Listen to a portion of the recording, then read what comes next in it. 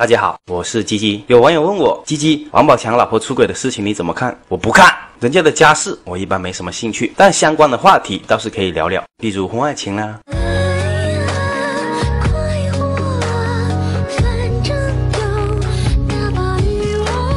们身边总有一些人喜欢调侃别人戴绿帽，每一个已婚的男人都具备戴绿帽的可能。你在嘲笑别人的同时，说不定自己头顶早已绿的发光。所以不建议去研究别人的家丑。还有一些人会同情被戴绿帽的人，在一次被公开的婚外情中，收益最大的往往是那个没有搞破鞋的受害者。这个只有经历过的人才知道。你要是问我我是怎么知道的，偏不告诉你。要不是因为发生在公众人物身上，婚外情这种破事根本不值得一提。这个世界每一天出轨的人比出生的人还多。如果上帝要求，出出轨的人全部上天接受审讯，估计天要塌下来。那是什么原因导致大家对出轨这件事情如此痴迷不悟呢？夫妻生活不和谐嘛？张爱玲小姐有句被广为流传的话：也许每一个男子全都有过这样两个女人，至少两个，一个是红玫瑰，一个是白玫瑰。娶了红玫瑰，久而久之，红的变成了墙上的一抹蚊子血，白的还是床前明月光。娶了白玫瑰，白的便是衣服上沾了一粒饭粘子，红的却是心口的一颗朱砂痣。这句话用到女人身上也一样，主要说的是两个人在一起久了就。会失去激情，没兴趣，那怎么办？很多人因此而恐惧婚姻，不是因为兴趣会没有而感到恐惧，而是因为即便没有了兴趣，还要硬着头皮和一个看着毫无欲望的家伙走完一辈子。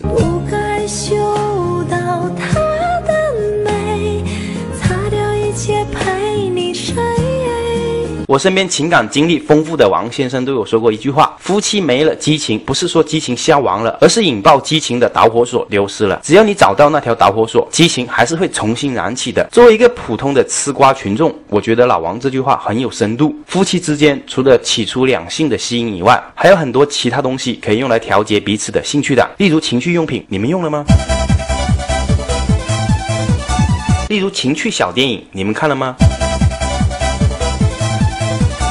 例如情趣性幻想，你们一起试过了吗？等等等，这些都可以用来调节夫妻生活的呀。如果你说我他妈都试过了，玩腻了，怎么办？真要走到这一步，那你比我牛逼。我不懂，反正爱情都是自私的，你给我的不能也给别人，尤其是性。如果你给我的和给别人的一样，那我就不要了。不是不要你给我的，而是直接不要你。你想搞，那就尽情的去搞吧，不关我事。话说回来，婚外情也并不是一无可取的。拥有多个情人可以锻炼你安排日程的能力。拥有这种能力，你就适合从事外交、安全、间谍之类的工作，都很赚钱的哟。但一定要注意，找情人要看清情人的目的。会因一件小礼物而感动的情人，才是真正对你有情的情人。而需要用奢侈品才能打动的情人，你顶多算个提款机，只是他提款的方式不同罢了。